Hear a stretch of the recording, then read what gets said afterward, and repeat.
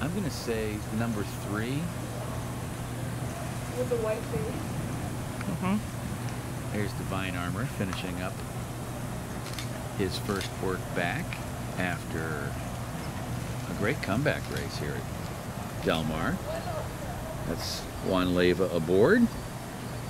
And he's finishing up with some enthusiasm, uh, catching the, the horses that broke off in front of him. I like to see that. That was nice.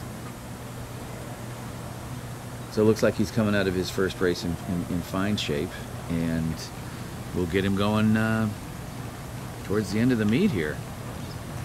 Bada boom, bada bing.